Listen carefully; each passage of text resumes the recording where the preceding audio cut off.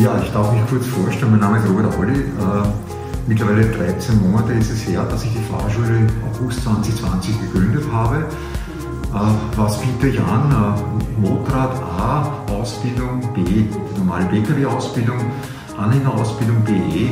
Das sind die drei Segmente, die ich anbiete. Ähm, wir versuchen recht zugeschneidert auf die Schüler Kurse anzubieten, Fahrstunden etc. Äh, das kann man sich äh, am Anfang auch sehr gut leisten.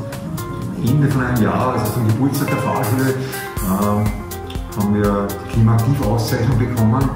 Das ist ein, ein, ein Preis für Engagement im Umweltbereich, überreicht durch, durch die Frau Umweltministerin Jedesler. Vielleicht diese kleine Message, es ist alles lösbar, oft scheitert es daran, im Glauben, keine Zeit, berufliche Tätigkeit, in Wirklichkeit nie Zeit für die Führerscheinausbildung.